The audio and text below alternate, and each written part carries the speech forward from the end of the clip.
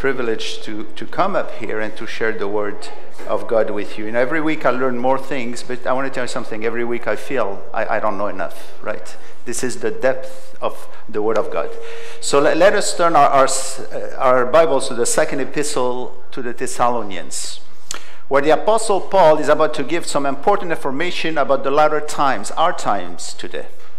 In there, he writes about the man of lawlessness, the, the son of perdition. This is how he calls the Antichrist. He will tell us how he enters the world scene and what he will do. This text follows the one of Daniel and also the words of Yeshua in the Gospels and that of John in Revelation 11. All these writings tell us that we, what we need to know about this man who will personify rebellion against God and will lead the world into the final wars. Paul also had one important teaching of the end times. He will also tell us about the church in the end times. He, he follows the teaching of Yeshua in Revelation and the, in the gospel as well, and teaches that the church is heading towards an apostasy. Well, it already began right at its birth the complete apostasy will take effect after the rapture, when the church will be composed of only non believers because the believers won't be there. Both these things, the Antichrist and the apostasy, and as it is with the political aspect of, of the end times, we can already see rising in the, in the horizon. Why then Paul teaching these things? You know, in the previous letters, he, he spoke about the rapture itself, which is one of the most extraordinary teaching that we have in the scriptures. He told us that the Lord himself will descend from heaven. Then we who are alive and remain shall be caught up together with them in the clouds to meet the Lord in the air. And thus we shall always be with the Lord for eternity and eternity. Amen. This is how the last generation of believers on earth will meet the Lord and their loved ones who are now in, he- in heaven. You know, the rapture marks the moment of the resurrection of their bodies, of those, especially, of course, of those who are died, that is, in the Messiah. For those alive at that time, it would be a metamorphosis. Then we will be changed into a new body fit for our eternal abode. This is what Paul teaches in 1 Corinthians 15. Furthermore, in the first letter, Paul answered the believers in Thessalonica who wanted to know about the often asked question when would the coming of the Lord be and how to prepare for it? This is when Paul, always inspired by the Holy Spirit, told them that concerning the times and seasons, they do not need to know. For there is no precondition to the rapture, it will come imminently at any time. As for the preparation, we've seen, he told them, work out your sanctification. For because we go to meet the Lord, be prepared to meet the Lord. Two things are then taught in this first letter the rapture and its imminency. However, about a year later, there were some new developments in the congregation. While their faith and their strong love grew tremendously, and while they also experienced much persecution and affliction, at the same time they were bombarded with all kinds of new literature and new teaching what they were taught is that they were, because they were suffering, that the day of the Lord happened. They thought actually that they were in the tribulation time. All of this brought much confusion in the congregation. Paul told them that the rapture will be the next prophecy, yet everything around them, even the political scene, pointed to the tribulation time. So they wrote Paul, and Paul answers. His answer makes the second letter a very important document for the end times and is very much for us today. This letter will answer many questions we hear, we often hear. For instance, are the believers going to go through the tribulation, as many believe? Or perhaps would the believers go for only to the first three and a half years of the tribulation, as many teach? Paul's answers, I want to tell you, are clear. The believer will not at all enter the tribulation, which is a time of judgment, for we have been judged on the cross, on the Tav already. The next prophecy to occur is the rapture with nothing else preceding it. And this is what is Paul's argument, I believe, in the whole of the second letter. However, remember that Paul's writings are among the most sometimes complicated, right? This is what Peter told us. And also of the most interesting ones to study. And so it is my prayer that the Ruach HaKodesh will guide us today in our reading of these wonderful records which we have, which are also fully inspired by God. Now let us look into this letter. It is in the first verses that we find out that something happened in between the two letters which brought Paul's passion and love to be poured out on these new believers who, despite great opposition, they actually they grown. They grown so much. See how Paul speaks of their growth. Let's start with verse 3. He says, We are bound to thank God always for you, brothers, for it is fitting because your faith grows exceedingly, and the love of every one of you shall abound towards each other. Right? You know, they followed Paul's teaching in the previous letter, and they worked at their sanctification, and it showed in their faith and in their love. Their faith, which is the first letter Paul, you know, that he actually prayed for that in 1 Thessalonians 3.10. And see how Paul describes this faith here. He describes its growth. Paul says that it was greatly enlarged. This is one word in the Greek, and it is a rare word. Hyper or hyper auxano. Okay, from auxano, which already means to grow to the extreme limits, preceded by the word hyper, means above and beyond. This word is only found here in the New Testament and it's only found three times in classical Greek. And when used, it means to attain great power to achieve the highest position. Paul loves, by the way, to fetch out these words in order to express his feeling and to, to be, he was so impressed by their growth. As for love, which is in the first letter, Paul, he prayed for it in 1 Thess 3.12. And now it has grown. It has grown. It says the Greek is used to also say too much, right? As if it was so high, right? But this growth, I want to tell you, came at, at a cost. Verse 4 revealed to us what they were going through. See what verse 4 tells us. So that we ourselves boast of you among the churches of God for your patience and faith in all your, here we are, persecution and tribulations that you endure. This is what these new believers then at around 50 AD began to endure persecution and tribulation. It was obvious that the church of God, as their Savior, was going to be persecuted right, and not be welcomed in this world. But Paul, who had a shepherd's heart, was so taken by their suffering that from verse 5 to verse 10, he reminds us of the, like, like the two sons of Zebedee. Remember when they asked God to throw fire into those who refused Yeshua? As he was writing from Corinth and unable to, to do anything from there, really, he longed for the coming of the Lord to settle that matter. He spoke so much of the coming of the Lord. In verse 8, for instance, he says he will come in flaming fire, taking vengeance on those who do not know God and on those who do not obey the gospel of our Lord Jesus Christ. And in the next verse, he speaks of hell. These shall be punished with everlasting destruction from the presence of the Lord and from the glory of his power. Do you see how much he loved them? How he longed for his protection. He couldn't do anything, so he calls on God. He will recognize the nursing mother right? Whom Paul compared himself to in the first letter. A nursing mother is one who cherishes and feeds her own children, for these were new believers, and he saw that there were so many who would come to persecute them and to teach them the wrong things. Here also we recognize the Father, who, whom Paul was, and, and to whom he also compared himself to in the first letter, because he exhorted them, he comforted them, and implored. He says, I do this as a father.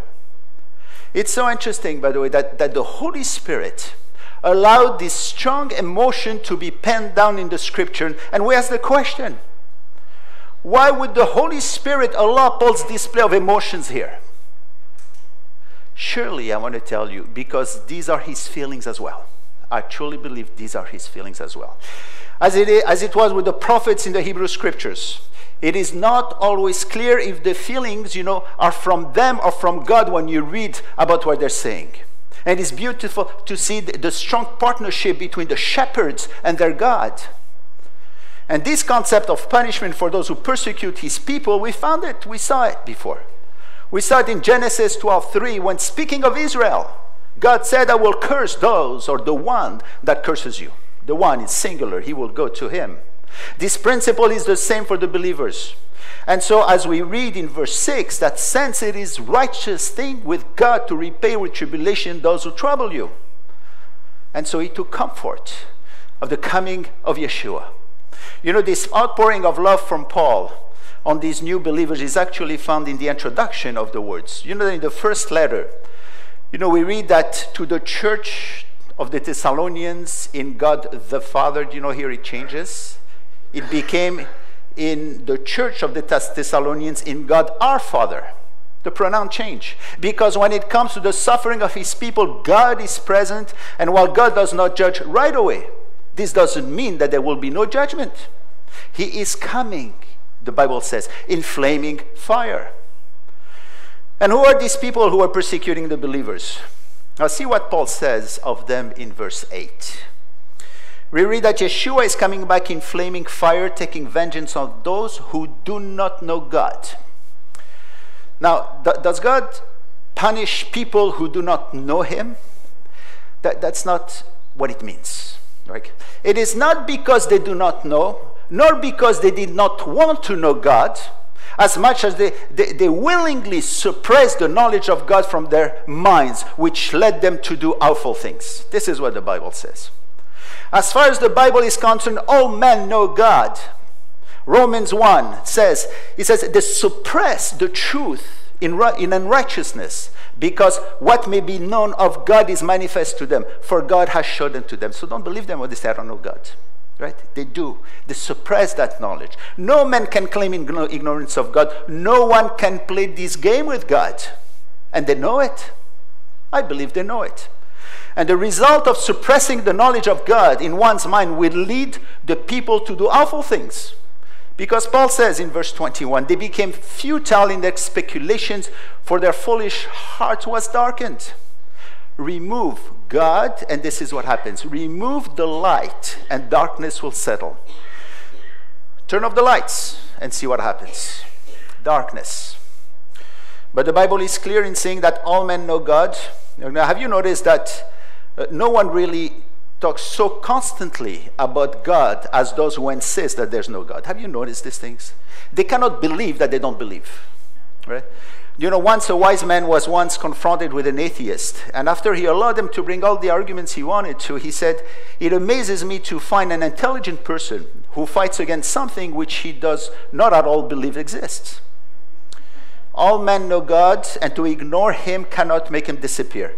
But it will make one's condition worse, always.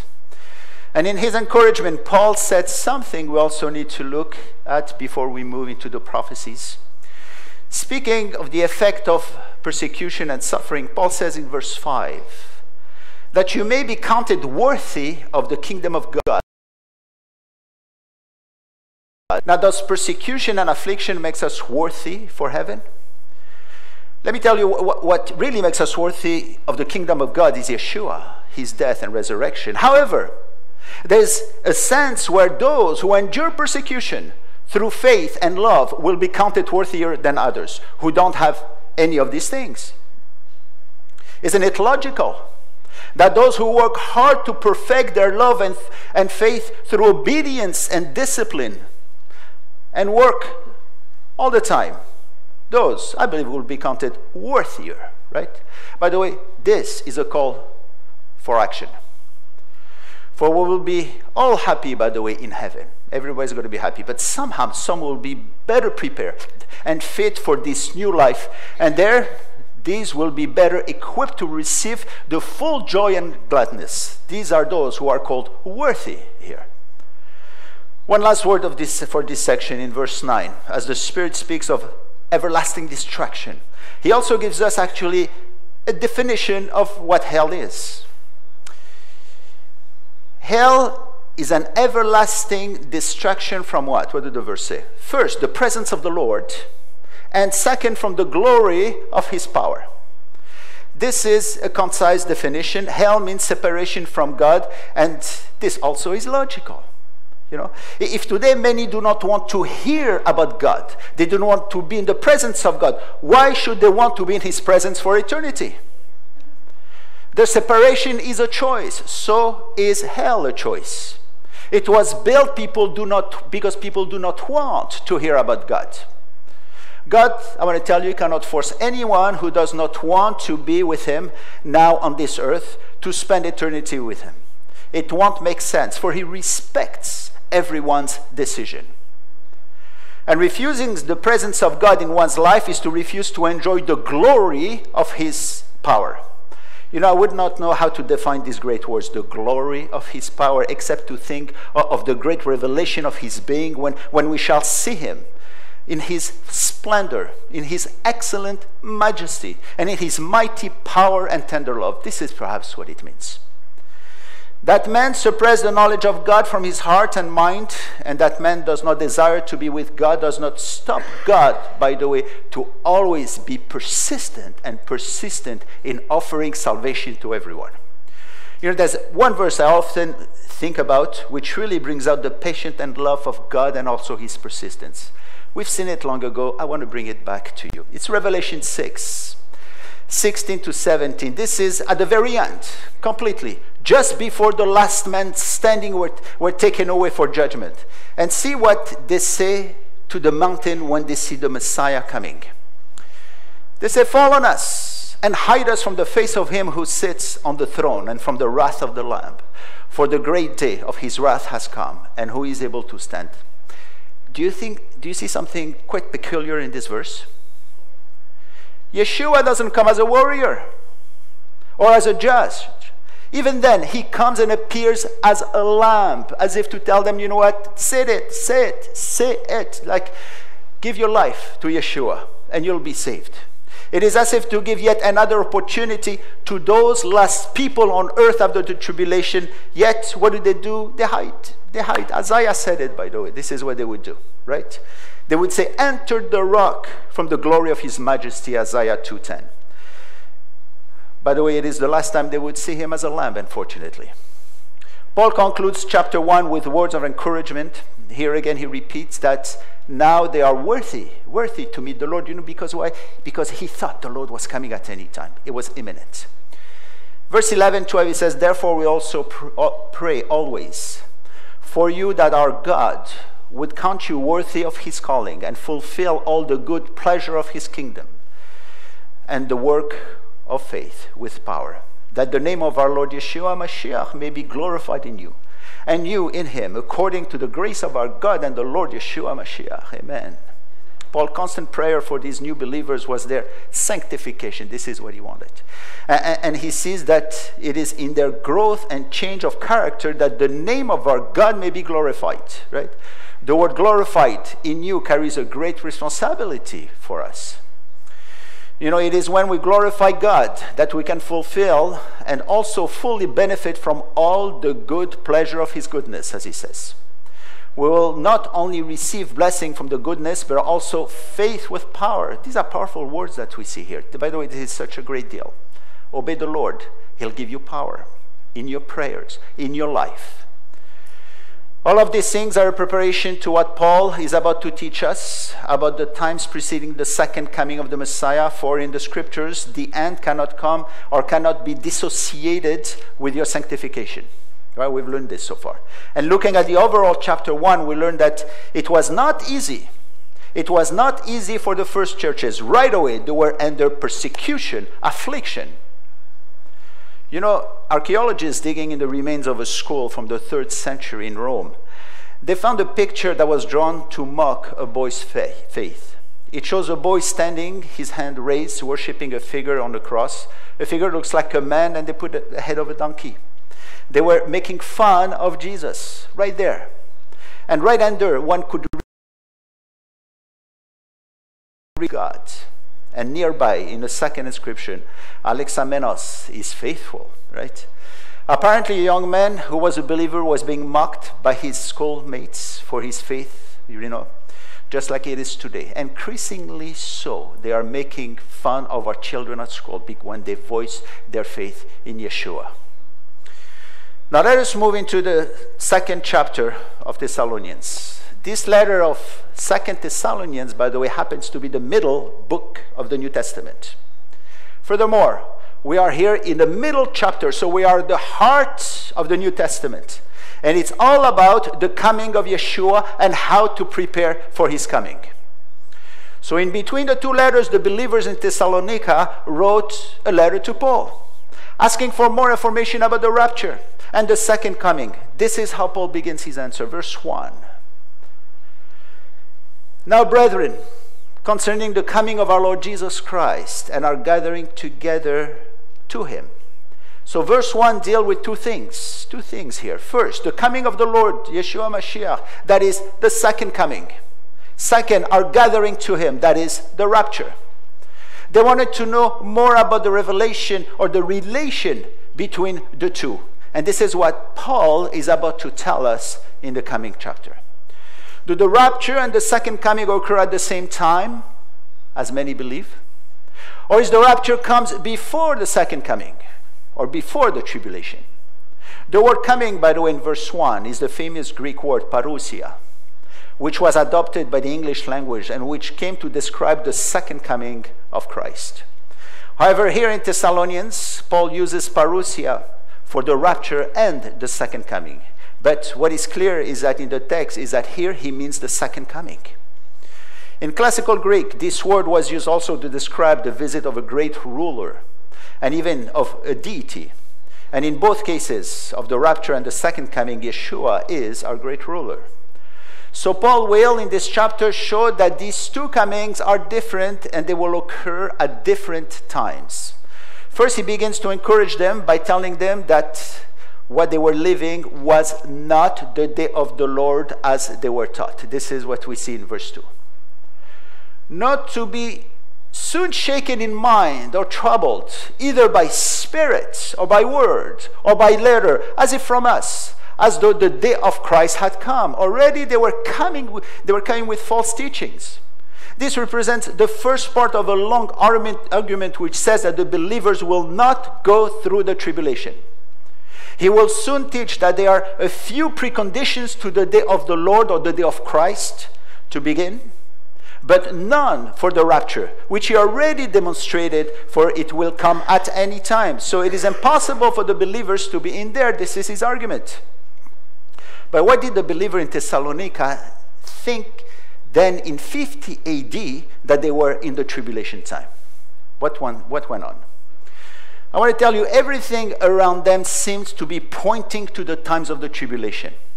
They were surrounded with all the elements that will be present at the beginning of the tribulation, and some believed it was. See the three things, okay, that actually disturbed them in verse 2 the Spirit, the Word, and the letter. Spirit, not the Holy Spirit, but a foreign spirit. We're going to see that the doctrines, false doctrines, are actually the doctrines of false spirits, of demons. This spirit here may be anyone who comes with a new revelation. And these new visions were very frequent. That is, 50 years later, okay, John actually told them, test every spirit. Test every spirit. To test everyone who comes actually to them. So frequent, actually, it was that the churches seems to have gotten together to put together a book called the teaching of the lord through the 12 apostles also called the didache right? Which is a book contain, contains many rules concerning the itinerant prophets and to actually to know how to deal with them. Today we don't need this book. We have the scriptures. The scriptures. All the books of the scriptures have been bounded and there we'll find the teaching of god in there. Next the word or by letter, as if from us. This speaks of the many books and information that came their way and brought much confusion. You know, at the time there was a huge amount of literature, and the greater majority of this literature claimed divine authority. Have you ever wondered about this massive amount of, of books at that time? Have you heard of the Apocrypha? I tried to find to figure out how many there were. I can't. There are so many of them. The Apocrypha, you know, these, these were written very close to the first coming of Yeshua at the time between 300 AD and 70 AD, as if to counteract, to draw on completely the message of the gospel for most of these pretend divine revelation. And they were proficient in teaching the end times. And these are among new information circulating in the churching the, the churches that is disturbing their faith. You know what apocrypha means? Hidden. Hidden. Such an appropriate title for their writers pretended to have special knowledge that you cannot find in the scriptures. And there are so many of these books. Have you heard of the Epistle of Jeremiah, which he never wrote? Or the epistle of Tobit and Judith, which Ezra never wrote, which they said, or the epistle of Nicodemus, which he actually never wrote, the gospel of Mary, the gospel of Peter, the gospel of Thomas, the first apocalypse of James. See what they had to contend with? These are among the word and letters received, and these were preached, actually. These books are still, by the way, venerated by many. Furthermore, this had a lot to say about the end times, like the many false teachings circulating the internet and the many books today. The early one, ones taught that a great period of suffering will occur before the day of the Lord. And so they came to them, they say, You're suffering, this is it, right? What about the Antichrist? The Antichrist, many believe he was Nero or an emperor actually who wanted to get into the temple and put his image in there. Everything actually concorded for them to believe it was the end. And you know, they were very disturbed. This is what we read in verse 2. Look again. Not to be quickly shaken from your composure or be disturbed. The word shaken is used to describe a troubled sea, even an earthquake. And Yeshua uses the same word in Matthew 24 when he speaks of the end time. And then he says, The power of the heaven will be shaken. They were shaken in their faith. The other word, to become distressed, means to go to and fro, to become unsettled. But we ought not actually to be afraid of any of these things. Because if you stay in the Word of God, there's nothing like this. That is what false teaching will produce confusion, havoc, and then destruction.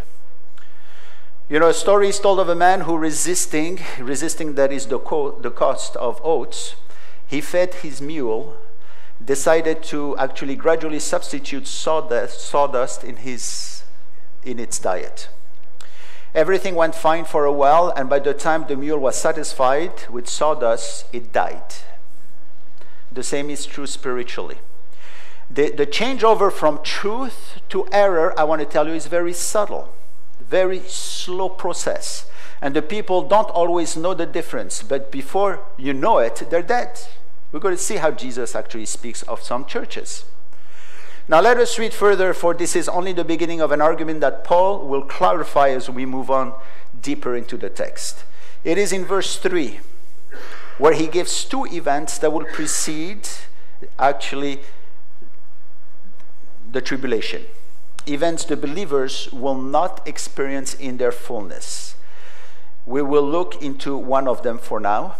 Let us see what the verse says. It says, Let no one in any way deceive you, for it will not come unless first, what comes? The apostasy comes first, and the man of lawlessness is revealed, the son of destruction. Two things which will precede the day of the Lord apostasy and the man of lawlessness. Two things the believers will not see, at least in their final stage. These two things are so important that they were there at the very beginning of the birth of the church. They were always present in its history. And these are the things that will usher the tribulation times when it will reach its final observable stage. An apostasy, actually, takes a big part in the teaching of the apostle that we have in the scriptures. It is there. In fact, every epistle, except perhaps for one, warns us about the facet, a facet of the apostasy of the church. And so we need to know what it is. For instance, in 1 Timothy 4, verses 1 and 2, as you have it in the screen, it says, Now the Spirit expressly says that in latter days, some will depart from the faith, giving heed to deceiving spirits and doctrines of demons, speaking lies in hypocrisies. having their own conscience seared with a hot iron, right? You know what it means? They don't want to hear anything anymore. It's finished. They, they, they seem to have reached the point of no return. The latter times began 2,000 years ago. This is when the apostasy began. Here, it's growing. Peter also warns the church. And he says that there were also false prophets among the people. They started then.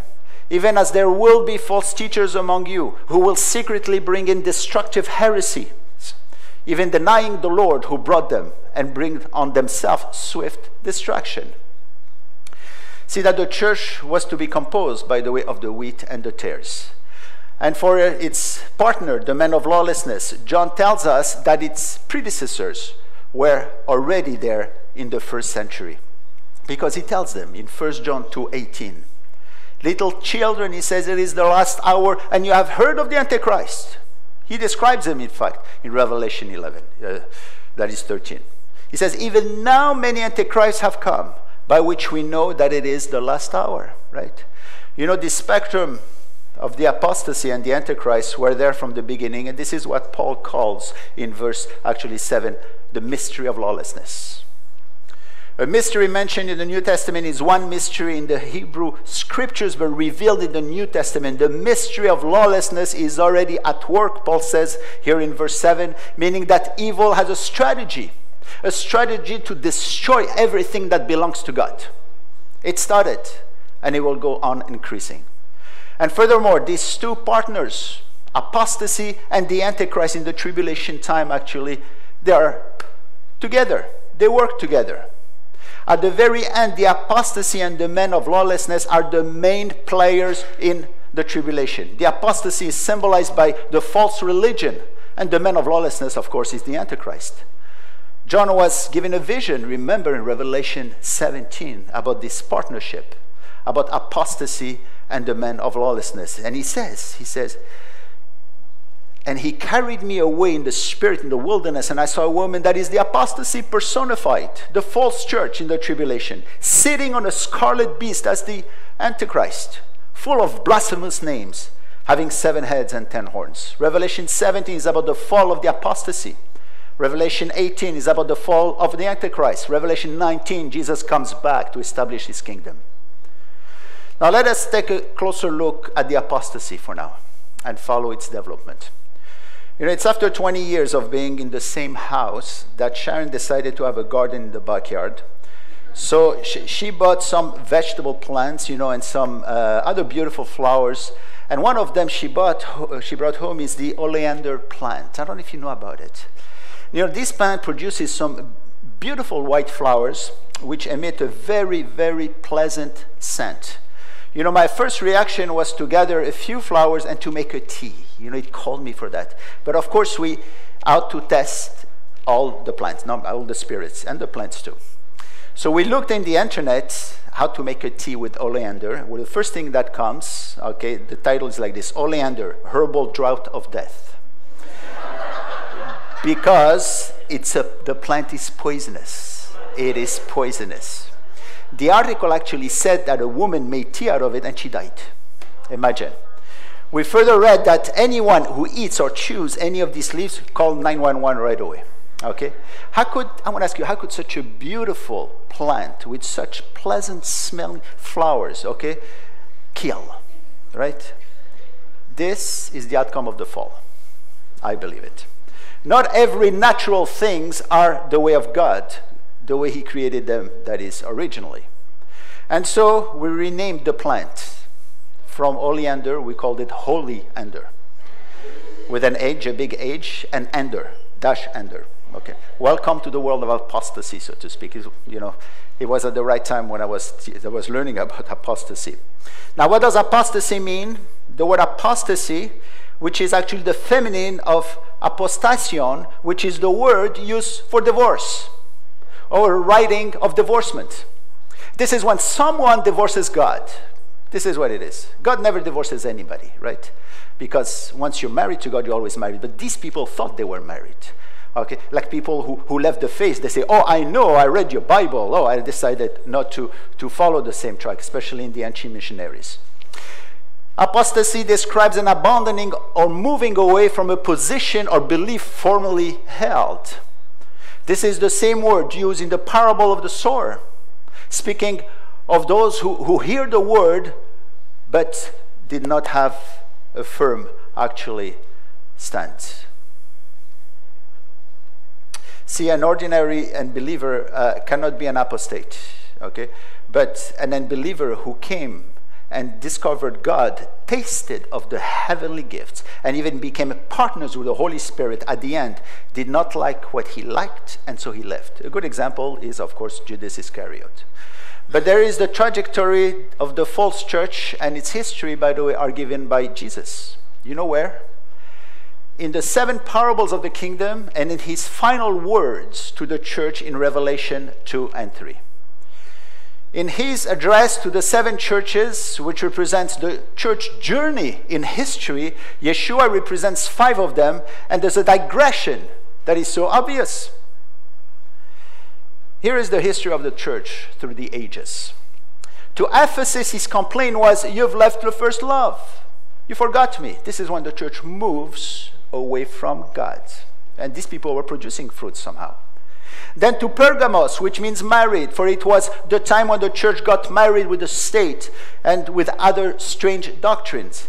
He tells her, You hold the doctrine of Balaam and the doctrine of Nicolaitans. Balaam, you know, found a subtle way to introduce heresy and immorality into the church.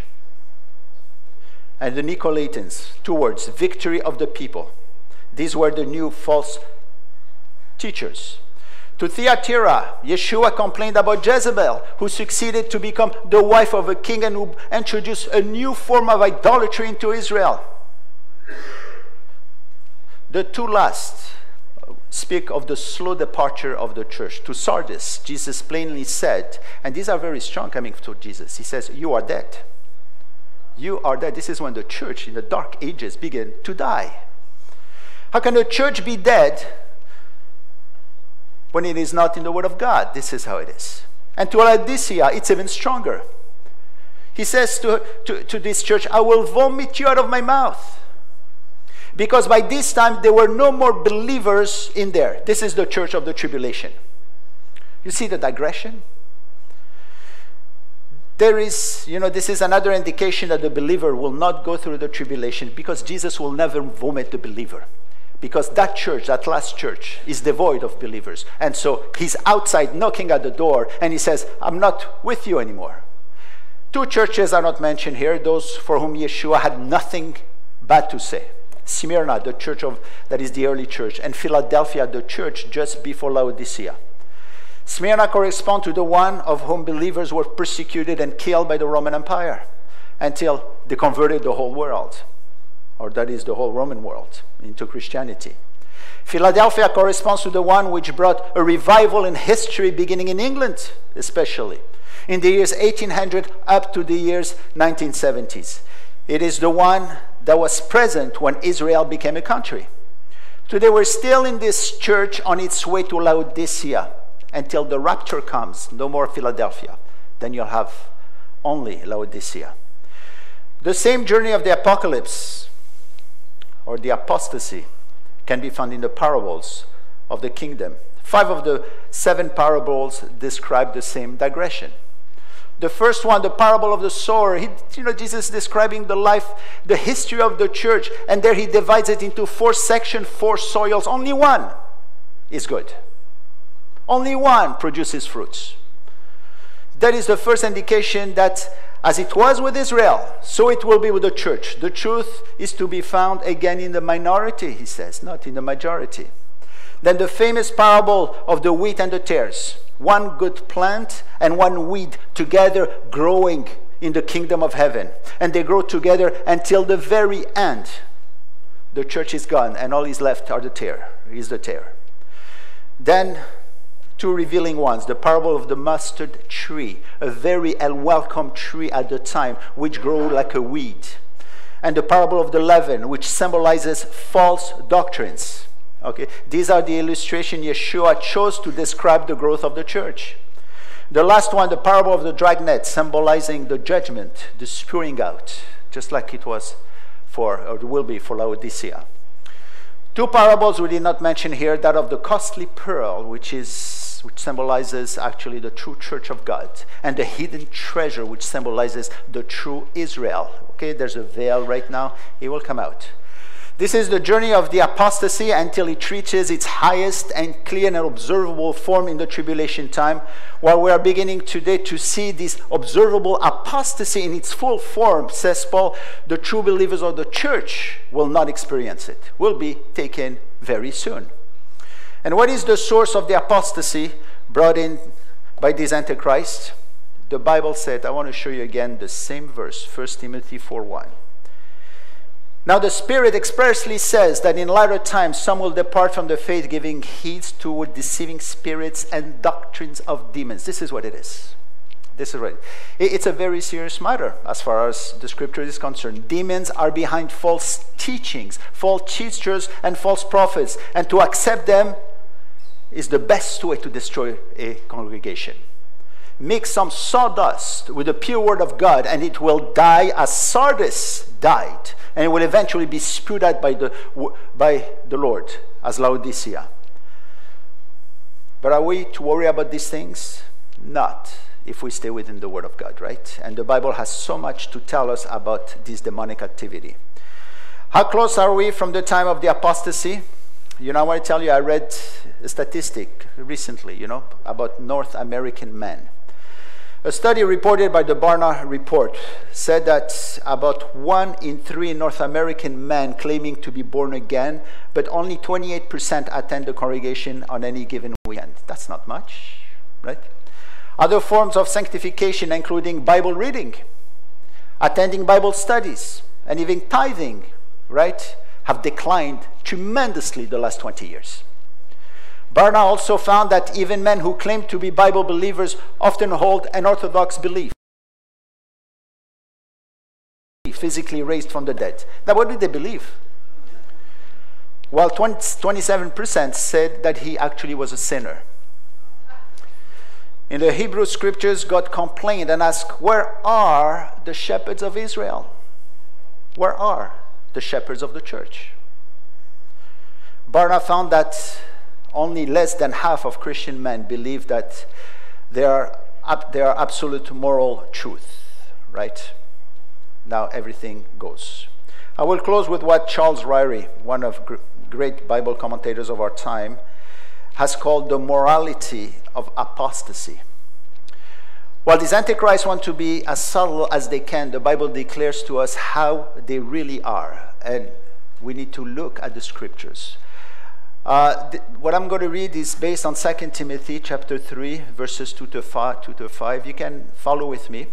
There are four verses. These four verses contain 18 things, 18 things to look for about these false teachers. You can just listen or follow with me. Love of the self God is replaced by the self, right? Self love, which stems from pride, will be the hallmark of the last days. Love of money. This follows from the first. For if self love is gone, right, we try to satisfy it, actually our self love, if the love of God is gone. Third, a spirit of pride. Pride, by the way, is the reason why Satan fell. Fourth, blasphemy. That is the last resort for those who do not know or don't want to know God. Disobedience to parents and authority. Six, lack of thankfulness. Seventh, lack of holiness. Eighth, without natural affection. This is so important. The word actually speaks of a mother's love. Perhaps this is why we have so many abortions.